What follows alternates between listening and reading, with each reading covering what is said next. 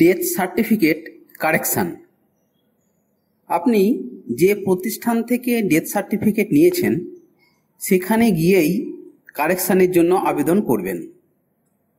সাথে দেবেন court affidavit copy আর সার্টিফিকেট যেটিতে সঠিক আছে, সেই I card, Aadhaar card, voter card ইত্যাদি।